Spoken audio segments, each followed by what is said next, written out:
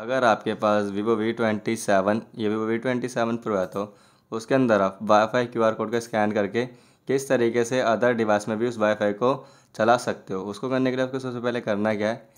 नीचे के साथ स्वाइप कर लेना है। वाईफाई का आइकन शो होगा इस पर टैप करके होल्ड करना है। जैसे टैप करके होल्ड करोगे, आपका ये वाला वाईफाई कनेक्ट है। और यहाँ पर आप देखते हो, आपको कोई वाईफाई कनेक्ट नहीं है अदर डिवाइस में, यहाँ पर आप चेक कर सकते हो। उसके बाद आपको करना क्या है?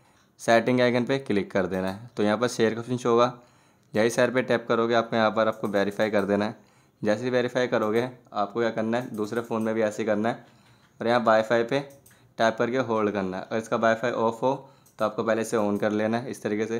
फिर यहाँ पर स्कैनर का ऑप्शन शो होगा इस पर टैप करोगे जैसे ही। और यहाँ से आपको स्कैन कर लेना है। जैसे आप स्कैन करोगे, आप देख सकते हो आपका वाईफाई है, जो इस वाले में चल रहा था। इसमें जो कनेक्ट था वो आपका, इसमें भी कनेक्ट हो जाएगा। यहाँ पर आप इसको T N team T N team without password के आप यहाँ पर कनेक्ट कर सकते हो वाईफाई क्यू आर कोड को स्कैन करके।